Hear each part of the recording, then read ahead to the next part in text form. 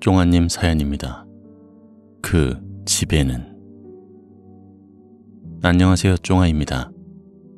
여러 섭구님들의 이야기를 듣다가 나는 저런 귀신 나오는 집에 살지 않아서 다행이다 라고 생각하다가 문득 어릴 때 살던 집이 생각났습니다. 그때는 그런 생각을 하지 않았지만 지금 생각해보면 그 집에 뭔가 있었던 것 같아 사연을 적어봅니다.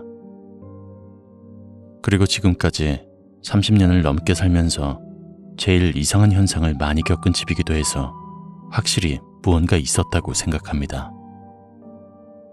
때는 제가 고등학생 때입니다. 부모님과 여동생, 그리고 저, 이렇게 넷이서 3년 정도 살았던 집에서의 이야기입니다. 우선 집에 대한 설명을 먼저 하자면 총 3층짜리 빌라였고 저희 집은 1층이었습니다. 앞쪽에는 차를 겨우 두세 대 정도 될 수 있는 주차장이 있었고 뒤쪽에는 다른 건물이 바짝 붙어 있어서 햇빛이 잘 안 들어와 낮에도 불을 켜고 사는 집이었습니다.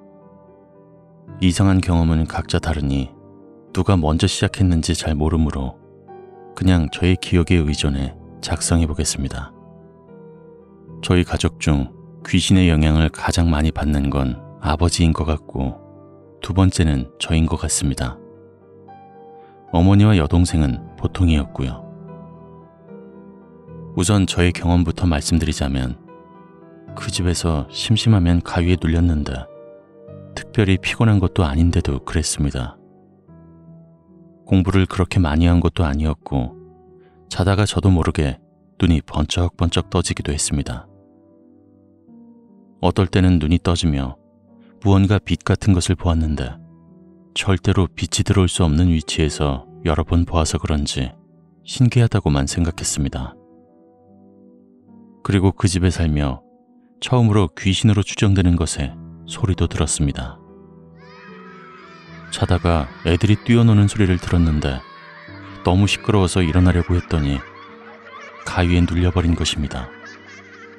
겨우겨우 억지로 손가락을 움직여 일어나 보았더니 그 소리가 갑자기 뚝 끊기더군요. 꿈도 별 희한한 꿈을 많이 꾸었는데 그 중에서도 제일 많이 반복된 것은 길을 헤매는 꿈과 집을 못 찾아오는 꿈이었습니다. 두 번째는 아버지와 관련된 이야기입니다. 아버지는 아직도 직접 언급을 잘 하지 않으시지만 귀신을 보시는 것 같습니다. 젊으셨을 때 술을 좋아하셨는데 그 집에 살며 유독 술을 더 많이 드셨고 돌아가실 뻔한 적도 두 번 있었습니다. 어떤 날은 술을 드시고는 집에 안 들어오신 적이 있었습니다. 새벽에 집으로 전화와서 받았더니 경찰분께서 아버지를 모셔가라고 한 적도 많았고 또 언젠가는 거의 아침이 되어서 아버지께 전화가 왔는데 본인이 왜 여기 있냐고 물어보시더랍니다. 알고 보니 그곳은 공동묘지였습니다. 거기에 왜 갔냐고 되물어보면 기억이 나지 않는다고 하셨죠. 또 어떤 날은 어머니께서 어떻게 술에 취한 아버지를 찾아오셨습니다. 어디서 찾았냐고 여쭈어보니 또 공동묘지에서 찾아왔다고 합니다. 그래서 거기에 왜 갔냐고 물어보았더니 누군가 자기를 부르더랍니다. 누군지 모르겠지만 누군가 자꾸만 자기를 불러서 자기 자신도 모르게 그쪽으로 갔다는 것입니다. 이 일이 자꾸 반복되니 어머니께서도 고민이 많으셨습니다. 저는 그 당시에 잘 몰랐지만 그 집에 살면서 굿도 했다고 하더라고요. 그런데 그것도 잠시뿐이었고 또다시 반복되었습니다. 그래서 또 찾아본 차선책은 종교를 갖자는 것이었습니다.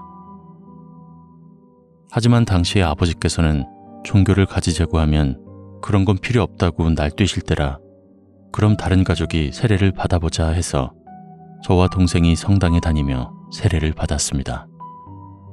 세례를 받았던 날도 좀 이상했던 게 그동안 아버지께선 성당에 다니는 것 자체도 비밀로 했었는데 그날 집에 오니 집이 난장판이었습니다. 무슨 도둑이 든 것처럼 말이죠. 하지만 도둑이 든 것은 아니었고 아버지께서 술에 만취해 오셔선 이유 없이 집에 있는 물건들을 모두 깨부신 것이었습니다. 그리고 저희를 쳐다보고는 어디에 다녀왔냐고 화를 내시는데 그 눈빛이 지금도 생생합니다. 살기가 느껴지는 눈빛. 단순히 술에 취해서 그런 눈빛은 아니었습니다. 그 모습을 보고 처음으로 빙의 같다는 것을 느꼈던 것 같습니다.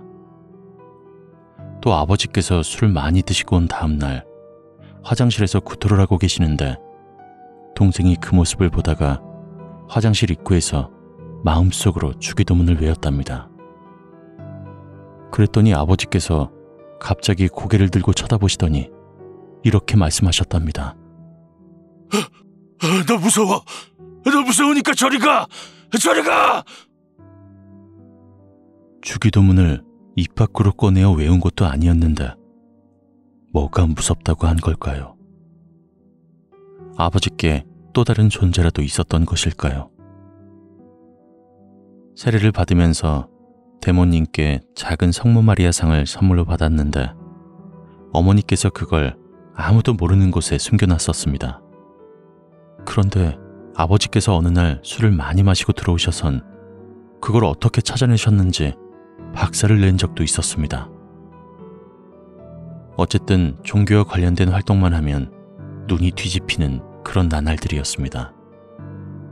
그런데 또 이상하다고 생각했던 것이 아버지께서 술을 마시고 오셔선 동생에게는 이래라 저래라 많이 하셨는데 저에게는 그러시는 걸 본 적이 없습니다. 또 다른 누군가가 있었다면 동생을 만만하게 봤던 걸까요? 뭐 여기까지만 들으면 그냥 아버지의 단순한 술주정과 가족들의 착각 등으로 여기실 수도 있지만 그 집에 살면서 아버지께서 하시는 장사도 잘 안 되고 해서 이사를 가게 되었습니다. 마지막으로 이사한 곳이 지금 사는 동네죠. 그런데 이사를 한 이후에는 아버지의 행동도 집안 사정도 확실히 이전과는 달라졌다는 것입니다. 이사를 하자마자 180도 짠하고 변한 것은 아니었지만 이전 집에서의 일들을 생각해보면 확실히 많은 것이 변화된 나은 삶을 살고 있다는 것입니다. 정말로 그때 그 집에서 있었던 일들은 무엇의 존재 때문이었을까요? 제 이야기는 여기까지입니다. 들어주셔서 감사합니다.